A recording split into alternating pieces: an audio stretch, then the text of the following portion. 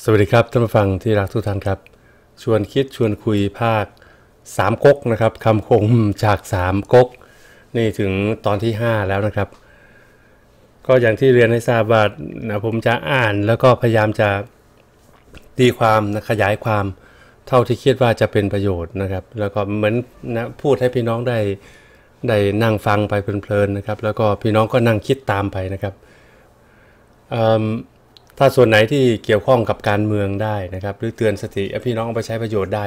ก็ถือว่าเป็นนะเป็นเรื่องที่ดีนะครับ การบริหารคือการทำงานให้สำเร็จโดยอาศัยมือผู้อื่นครับจริงๆก็คือถ้าเราพูดเรื่องการบริหารเนี่ยต้องมีคนมาเกี่ยวข้องนะครับเป็นทีม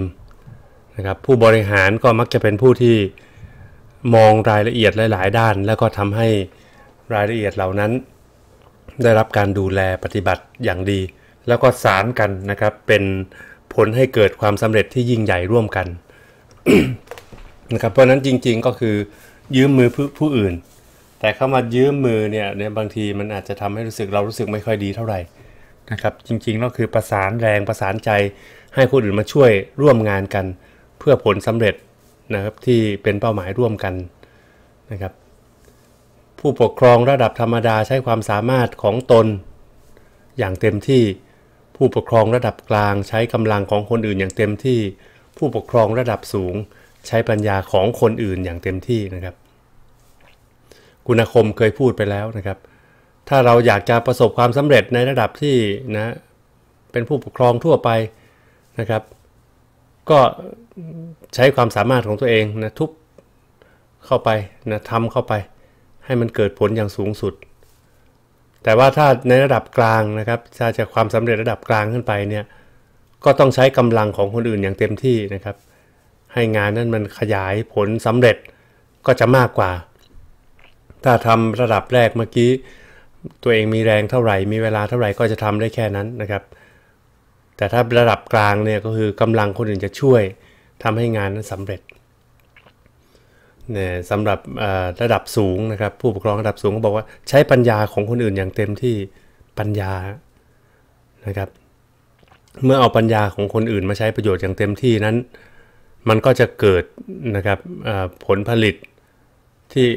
ต่อท่อออกมาแล้วเนี่ยนะครับผลผลสำเร็จ ขั้นสุดท้ายเนี่ยก็จะเป็นสิ่งที่มีมูลค่ามหาศาลนะครับทำให้เกิดความสำเร็จระดับยิ่งใหญ่ ก็ในส่วนของการเอาความรู้ความสามารถความปัญญานะครับของผู้อื่นมาใช้เนี่ยมันก็แตกหน่อได้เยอะจริงๆนะครับแล้วก็บางทีทำให้เกิดผลงานระดับที่วิเศษสูงสุด อย่างกรณีของนะ Microsoft อย่างเงี้ย Apple อย่างเงี้ยนะครับ คนคนเดียวทำไม่ได้หรอกครับ มันต้องเป็นทีมงานของ Google อย่างเงี้ยนะครับ พี่น้องมาดูเถอะนะครับ ต้องใช้คนจำนวนมาก แล้วก็ใช้สติปัญญาของคนหลายระดับด้วย นั่นก็เป็นงานระดับที่มันสูงขึ้นนะครับ อืม การเป็นผู้นำการเป็นผู้บริหารนี่เขาบอกว่า ต้องอ่านคนออก บอกคนได้ใช้คนเป็น นี่ก็ท่องติดปากไว้นะครับ ถ้าจะเป็นคิดผู้บริหารเนี่ยต้องอ่านคนนะครับ คนคนนี้เป็นอย่างไรนะครับมีจุดอ่อนจุดแข็งอย่างไรนะครับ มีจุดที่เขาสามารถจะเอามาใช้ประโยชน์ได้ตรงไหนนะครับ จุดไหนที่เขาทำได้ไม่ดีเนี่ยอ่านให้ออกไว้ใจได้ไหมซื่อสัตย์ไหมนะครับ เข้ากับคนได้ไหมนี่ก็ต้องดูให้ละเอียดหมด แล้วก็เวลาเป็นภาษาการบริหารก็คือว่า put the right man on the right job เนี่ยนะครับ ก็เป็นแบบนั้น บอกคนได้เนี่ยคงจะเป็นนะคงเป็นสามารถจะไปนะบอกกล่าวสื่อสารกับคนได้ดีบางงั้นเถอะนะครับ ถ้าใครทำความผิดหรือว่ามีแนวโน้มจะทำให้เกิดความล้มเหลวครับสามารถจะไปสื่อสารไปบอกไปกล่าวได้นะครับ บอกบอกคนได้ ใช้คนเป็นอันนี้ก็สำคัญนะครับ เมื่ออ่านออกบอกได้แล้วก็ต้องทำให้คนนั้นสามารถมาทำงานในสิ่งที่นะเรา ต้องการให้ช่วยเหลือไว้วาน หรือทำให้สำเร็จนะครับอืมข้อ 24 นะครับ เมื่อนักการทูตพูดว่าใช่หรืออาจจะ เขามีความหมายว่าอาจจะ เมื่อนักการทูตพูดว่าอาจจะ เขามีความหมายว่าไม่ เมื่อนักการทูตพูดว่าไม่ เขาไม่ใช่นักการทูต เพราะนักการทูตที่ดีจะไม่ปฏิเสธใครอ้าวนี่ก็นะครับเป็นเรื่องของ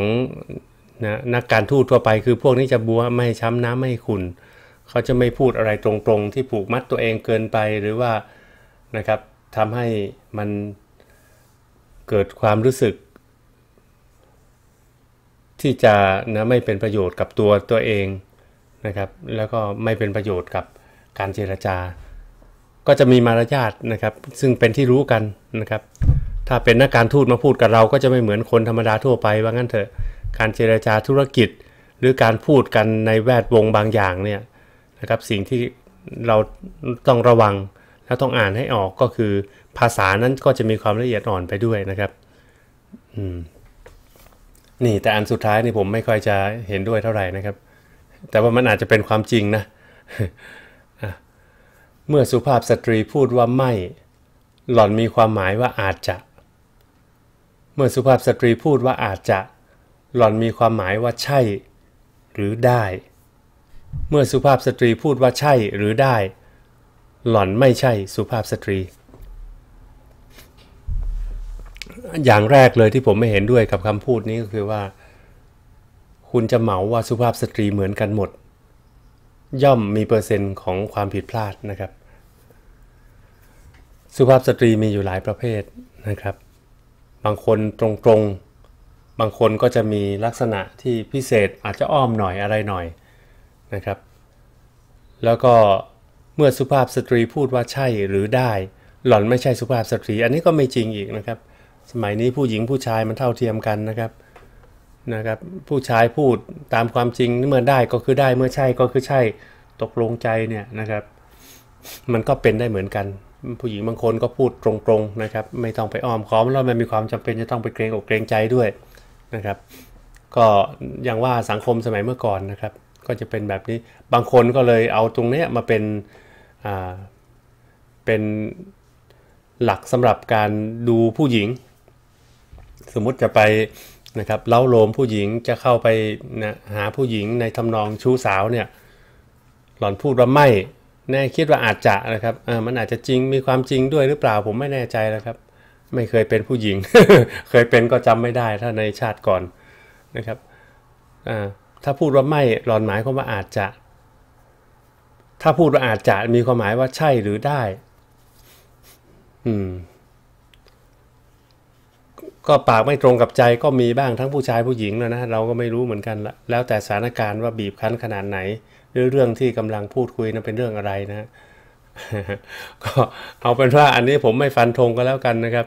แต่ว่าอยากจะให้พวกเราต้องเผื่อเผื่อไว้ด้วยว่านะครับจะบอกเป็นผู้หญิงแล้วจะต้องเป็นอย่างนี้นี่มันอาจจะไม่จริงทั้งหมดทุกกรณี ขึ้นอยู่กับว่าเรากำลังถามเรื่องไหนอย่างไรนะครับ แล้วก็ให้รู้ไว้ว่าถ้าเป็นเรื่องอทางเพศนะครับสำหรับประเทศตะวันตกเนี่ยถ้าผู้หญิงพูดว่าไม่ปุ๊บเนี่ยถ้าคุณฝืนเมื่อไหร่แล้วก็นะครับศาลเขาตัดสินมาแล้วเขาถามว่าก่อนจะตัดสินเนี่ยเขาถามว่า ผู้หญิงได้พูดว่าไม่ใช่หรือไม่นะถ้าเขาได้ยินคำว่าไม่เนี่ยแล้วนะปรากฏว่าผู้หญิงพูดจริงเนี่ยนะครับแล้วคุณยังดันทุรังอยู่เนี่ยพราะคิดว่าหล่อนอาจจะพูดว่าอาจจะเนี่ยนะครับ ระวังนะเข้าคุกนะครับ ก็เอาเอานะครับเล่นๆบ้างจริง ๆ บ้างนะครับ หวังว่าจะเป็นประโยชน์บ้างตอนที่ 5 แล้วนะครับคำคมจาก3ก๊กนะครับ แล้วพบกันใหม่ในคลิปต่อไปนะครับ สวัสดีครับ